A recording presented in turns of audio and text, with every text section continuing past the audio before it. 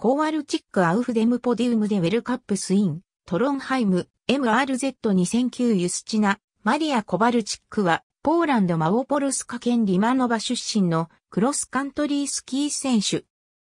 ポーランドの女子クロスカントリースキー選手として初めてオリンピック、世界選手権で金メダルを獲得、クロスカントリースキーワールドカップ総合のタイトルも獲得した。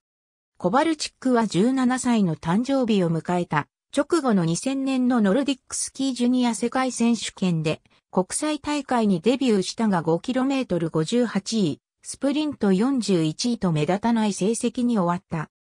2001年12月9日にクロスカントリースキーワールドカップに初出場したが、スプリント64位と苦いデビューになった。徐々に実力を蓄え2003年のジュニア、世界選手権 5km で5位入賞、スプリントでは銀メダルを獲得した。2003年ノルディックスキー世界選手権にも出場したが 10km48 位、スプリント31位に終わった。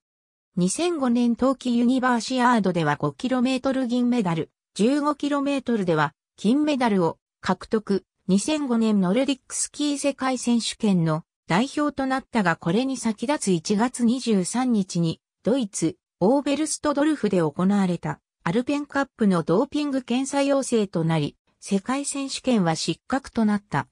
2005年6月13日、FIS のドーピング審査団は、コバルチックが膝の治療に禁止薬物のデキサメタゾンを使用したとして2005年1月23日から2007年1月22日まで2年間の出場停止処分を下した。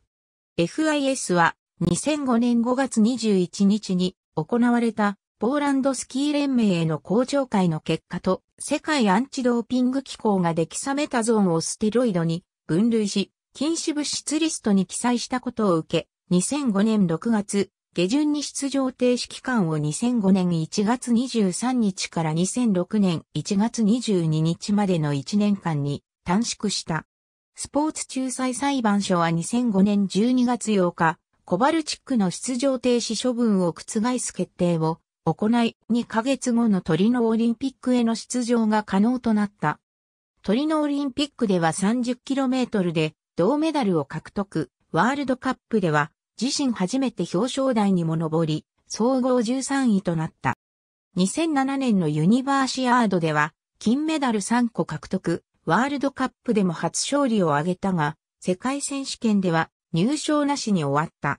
2007から2008シーズンのワールドカップは通算2勝目を挙げて、それまでの自己最高となる総合3位となった。2009年ノルディックスキー世界選手権では最初の出場種目 10km で銅メダルを獲得 15km パシュート 30km で金メダルを獲得。2008から2009シーズンのワールドカップでは5勝を挙げて初の総合優勝。これらの功績により、ポーランド復興勲章カバレルスキ十字勲章を受賞した。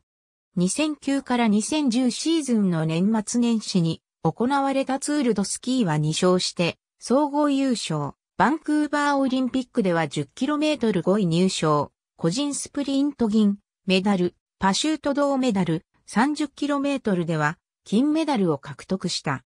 コバルチックはこの大会で、金3個を含む5個のメダルを獲得したマリット・ビオルゲン、はじめ、抗喘息薬を使用する選手たちを批判した。ビオルゲンは、オリンピックのチームの意思によって処方される場合にだけ、喘息を伴う人々が日常生活を送ることを助けると言われている薬の服用を FIS に許可された多くのオリンピックのクロスカントリー選手の一人である。コバルチックは後にオリンピック中にそのような発言をしたことを謝罪した。2009から2010シーズンのワールドカップは6勝を挙げ、史上初めて2000ポイントを超えて2年連続の総合優勝を達成し、また、ディスタンス部門、スプリント部門それぞれの総合優勝も達成、ワールドカップファイナルも制した。2010から2011シーズンもツールド、スキー総合優勝、2011年、ノルディックスキー世界選手権では 10km とパシュートで銀メダル、30km で銅メダルを獲得した。ワールドカップでは2勝に止まったが総合では3連覇を達成した。2011から2012シーズンはワールドカップで6勝を挙げたが総合ではマリット・ビョルゲンに及ばず2位だった。2012から2013シーズンは世界選手権ではメダルは 30km で獲得した銀の1個に終わったが、ワールドカップ総合では2シーズンぶり4度目のチャンピオンとなった。このシーズン終了時点でワールドカップ通算27勝を挙げている。ありがとうございます。